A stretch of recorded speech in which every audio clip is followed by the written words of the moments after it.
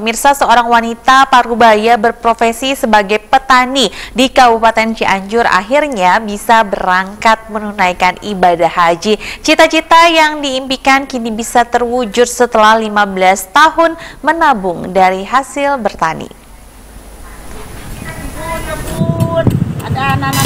Beginilah keseharian Yayat, seorang wanita Parubaya yang berprofesi sebagai petani. Di kampung Pasir Naga, Desa Kertasari, Kecamatan Sindang Barang, Kabupaten Cianjur ini, meski beberapa hari lagi berangkat ke Tanah Suci sebagai calon jemaah haji, Yayat di sela-sela kesiapannya untuk menunaikan ibadah haji, ini tetap menjalankan tanggung jawabnya sebagai petani dengan bertanam di kebun. Bagi wanita Singaparan ini berkebun bisa membantu ketahanan fisik untuk menjaga kebugaran selama menjalankan ibadah haji nanti. Usai melakukan aktivitasnya di kebun, Yayat kemudian mempersiapkan semua perbekalannya untuk berangkat haji. Dengan membuka kembali buku panduan haji, mempersiapkan pakaian dan kelengkapan surat-surat identitas. Wanita berusia 60 tahun ini tidak menyangka dan sangat bersyukur impiannya sejak masa muda dengan menabung selama 15 tahun dari penjualan hasil bertani.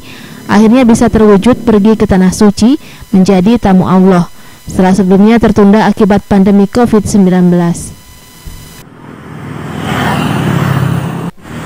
Janda mandiri bangga itu terasa bangga.